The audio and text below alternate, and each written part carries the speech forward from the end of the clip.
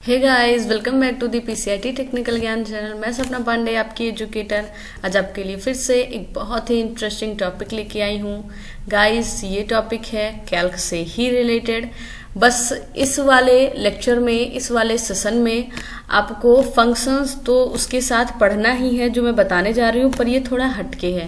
Guys अभी तक आपने फॉर्मूला पढ़ा कि उसको हम कैसे अप्लाई करेंगे सम हो गया प्रोडक्ट हो गया, लेकिन इस वीडियो में आप जानने वाले हैं कि फ़ंक्शंस की मदद से आप रिज़ल्ट कैसे तैयार करते हैं।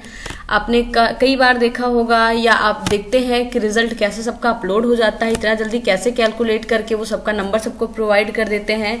तो गाइज़ यही कुछ फॉर्मूले होते हैं और सिस्टम की मदद से उनको सॉर्ट आउट किया जाता है, उनका आपको रिज़ल्ट दिया जाता है।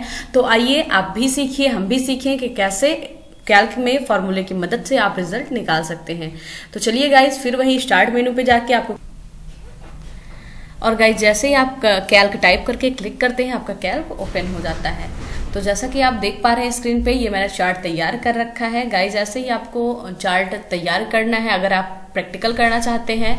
अदरवाइज़ आप कहीं वर्क कर रहे हैं, आप ऑफ़िस यूज़र हैं तो आपको लिस्ट दिया जाएगा या आप निकालते हैं रिज़ल्ट निकालने का काम करते हैं तो आपको वो लिस्ट दी जाएगी, जिसकी मदद से आपको रिज़ल्ट निकालना होगा। तो चलिए, बिना किसी देरी के हम स्टार्ट करते हैं। तो गाइज़ जिस फ़ंक्शन या जो फॉर्मूला हम रिज़ल्ट निकालने के लिए यूज़ करते हैं, उसे कहते हैं इफ़ फ़ंक्शन और उन्हीं की मदद से हम रिज़ल्ट निकालते हैं, दो या दो से अधिक या चाहे जितने भी पर्सन हो, उनके रिज़ल्ट हम इफ़ फार्मूले से निकाल सकते हैं। तो चलिए, बिना किसी देरी के हम स्टार्ट करते हैं अपना सेशन फार्मूले के लगा के। तो क्या करेंगे गाइज़ वही अपना इफ़ लगाएँगे आप। और जैसे ही आप फ़ंक्शन ऑन करेंगे, ये कह रहा है test then value otherwise value उसको आपको ध्यान नहीं देना, मैं जैसा बता रही हूँ, आप करते जाएँगे। हम क्या करेंगे? इनका नंबर्स का सेल एड्रेस लेंगे और ग्रेटर देन लगाएँगे इक्वल लगाएँगे। हमें पता है गाइस कि जो ट्रिपल सी होती है, उसमें अगर आपका 85 है या 85 से एबव है आपका नंबर तो आपको यस ग्रेड दिया जाता है। और यदि 75 है या 75 से ऊपर आपका नंबर है तो आपको ए ग्रेड दिया जाता है, दिया जाता है। ऐसे चलता जाता है, या 65 है 65 से अबव है तो गाइज़ आपका बी ग्रेड बन जाता है। 55 है या 55 से अब है तो गाइज़ आपका सी ग्रेड बनता है। और अगर आपका 50 है गाइज़ और उससे अब 55 के बीच में है तो आपका डी ग्रेड बनता है। और जैसे ही 50 के नीचे पहुँची आपका मार्क्स तुरंत वो हो जाता है यफ ग्रेड तो गाइज़ उन्हीं के हिसाब से हम निकालेंगे। तो हमने क्या दिया यहाँ पे? अगर इनका नंबर 85 से बड़ा हो या बराबर हो तो कॉमा लगाएँगे। फिर हम इन्वर्टेड कॉमा लगाएँगे। हम कहेंगे इनका फिर आए यस ग्रेड गाइज़ आपको समझने चलना है, मैंने यहाँ पे क्या कंडीशन अप्लाई की है कि यदि इनका नंबर जैसा कि मुझे दिखाई दे रहा है अट्ठासी वैसे ही यस ग्रेड है, ये तो मुझे पता है, लेकिन हम एक का ऐसे लिख देंगे गाइज़ तो क्या हम सबका, अगर हज़ार स्टूडेंट है, दो हज़ार है, उनका ऐसे हम थोड़ी निकालते चलेंगे तो हम क्या करेंगे? एक पर फॉर्मूला अप्लाई करेंगे, बाकी ड्रैग करवा देंगे रिज़ल्ट अपने आप आ जाएगा। तो क्या कह रहा है, यदि इनका नंबर जिनका मैंने cell address E e four ले रखा है। मैंने कहा, यदि इनका नंबर बड़ा है या बराबर है पचासी के, यानी कि अगर इनका नंबर पचासी के बराबर हो या उससे बड़ा हो तो इनका आए यस ग्रेड समझ में आया गाइज़ आपको? आई होप आ गया होगा। फिर आप कॉमा लगाएँगे। ये ध्यान में रखेंगे कि जहाँ मैंने यहाँ पचासी रखा गाइस तो आप देख सकते मैंने कॉमा लगाया। अल्फ़ाबेट में मैंने आपसे कहा था कि आपको इन्वर्टेड कॉमा के साथ रखना तो मैंने यहाँ इन्वर्टेड कॉमा ऑन करके यस लिखा, फिर उसको ऑफ़ करके देन कॉमा लगाया। ये चीज़ आपको ध्यान रखना है। इन्वर्टेड कॉमा बंद करने के बाद ही आप फिर से कॉमा अप्लाई करेंगे। ये मेरा पहला था। फिर मैं यहाँ पे क्या करूँगी गाइज़ इफ़ लगाऊँगी और फिर से मैं फ़ंक्शन ऑन करूँगी। होंगे अभी हमें बंद नहीं करना है, जब तक हमारे फ़ंक्शंस पूरे कंप्लीट नहीं हो जाते। फिर मैंने कहा, यदि इनका नंबर बड़ा हो या बराबर हो, किसके गाय सेवेंटी फाइव के। मैंने कहा, यदि इनका जो नंबर है, अजय पर्सन का जो नंबर है, पचहत्तर से बराबर हो या पचहत्तर से बड़ा हो, पचहत्तर के बराबर हो या पचहत्तर से बड़ा हो तो फिर वही इन्वर्टेड कॉमा इनका आए ए ग्रेड ये मेरा दूसरा कंडीशन हो गया। फिर मैं तीसरा दूँगी। इफ़ ये जो इनका मार्क्स है, वो बड़ा हो या बराबर हो 65 के। इस बार मैंने कहा कि यदि इनका नंबर पैंसठ के बराबर हो या पैंसठ से बड़ा हो कॉमा लगाया मैंने, फिर मैंने एक कंडीशन दिया कि इनका आए बी ग्रेड फिर मैंने कॉमा लगाया। गाइज़ ये याद रखना, जितनी बार आप कंडीशन अप्लाई कर रहे हैं, आपको फ़ंक्शन ऑन करके रखना है। फिर ये हो गया अब क्या करेंगे? हम नेक्स्ट करेंगे आगे। फिर लिख रहे हैं इफ़ फिर से हमने फ़ंक्शन ऑन किया। इस बार कह रहे हैं कि यदि इनका नंबर बड़ा हो या बराबर हो 55 के तो इनका नंबर आए B C sorry guys C आए इनका। फिर मैंने कॉमा लगाया और अभी फ़ंक्शन जब तक फेल वाला नहीं हम कर लेते गाइस तब तक हमको करते रहना है।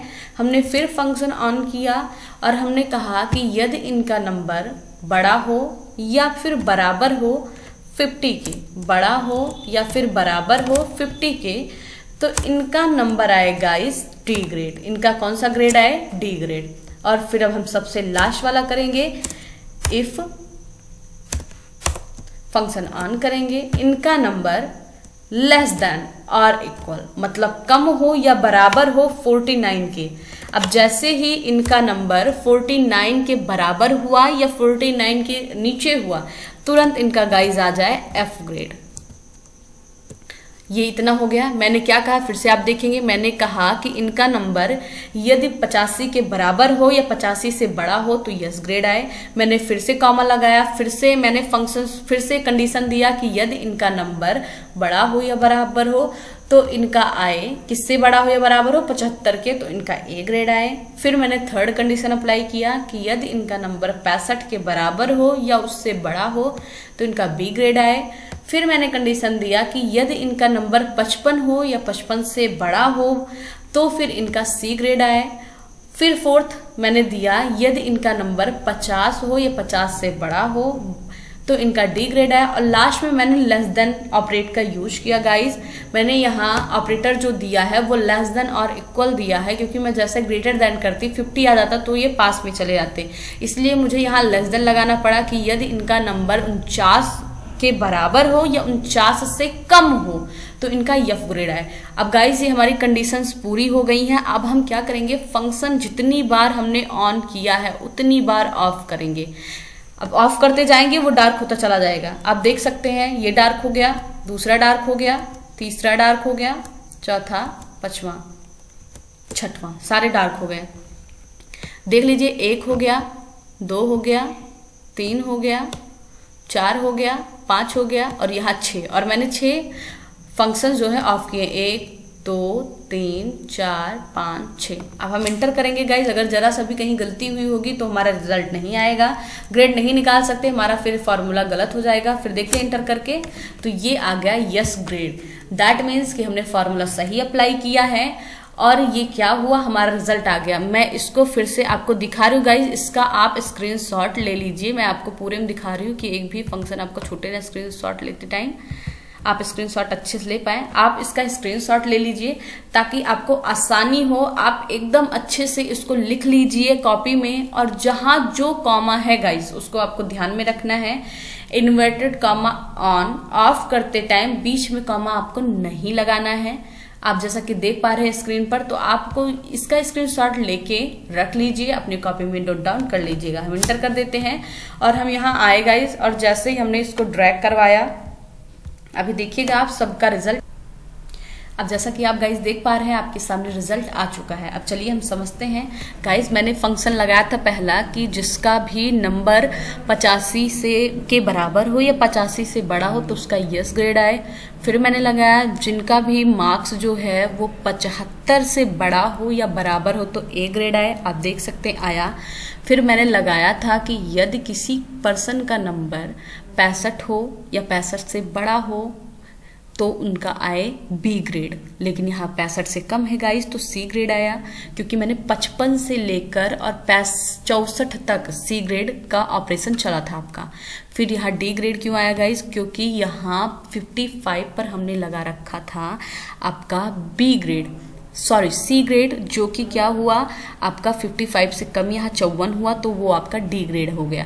ऐसे देख सकते हैं आप बी सी बी और यहाँ देखिए यफ ग्रेड है, क्यों है? क्योंकि यहाँ मैंने ऑपरेट लगाया था ऑपरेट कर रखा था, मैंने जो फ़ंक्शंस कंडीशन लगाई थी, वो मैंने कहा था कि जिसका भी नंबर उनचास के बराबर हो या उनचास से कम हो तो उसका यफ ग्रेड आए। आई होप गाइज़ आपको ये समझ में आ गया होगा, कैसे रिज़ल्ट निकालते हैं। वो आपको एकदम क्लियरली अच्छे से समझ में आ गया होगा। आप कुछ चीज़ें गाई जो मैं आपको और थोड़ा बता दूँ कि जैसे हमने ट्रिपल सी का निकाला, वैसे आप सब्जेक्ट वाइज भी निकाल सकते हैं। जैसे आपका होता है किसी इंटर का निकाल रहे हैं तो उसमें 500 का होता है। तो 500 में 60 प्लस कब जाता है? 360 पे जाता है। तो ऐसे आप निकाल सकते हैं ग्रेडिंग कर करके।